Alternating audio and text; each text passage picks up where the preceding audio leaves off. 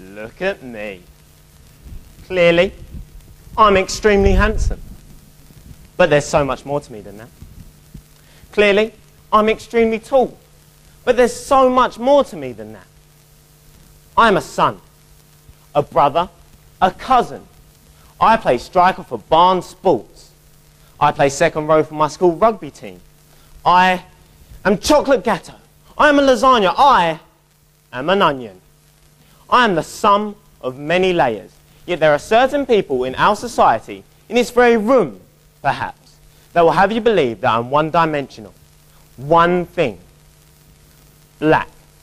They'll have you believe that a person's colour, whether white, brown, or black, is the sole precursor to all that they are.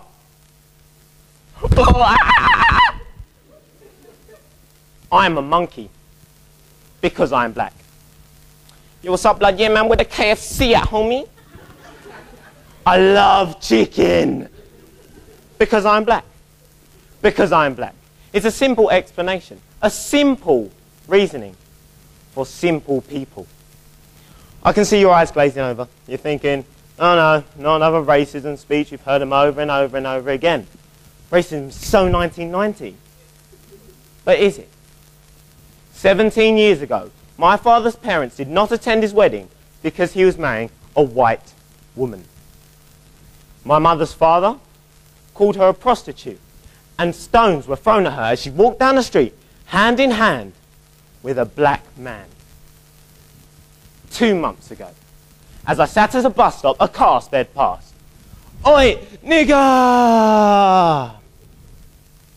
In that one moment, all that I am all that I have worked so hard to achieve was stripped away, leaving a shattered mess of unjust preconceptions and stereotypes.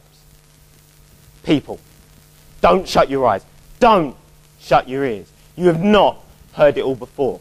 Those who do not remember the past are doomed to repeat it. We are all the sum of many layers. We are all onions. You're an onion. You're an onion. I am an onion. I am 100% black. I am 100% white. I am Nathan Nwachukwu, and I love chicken.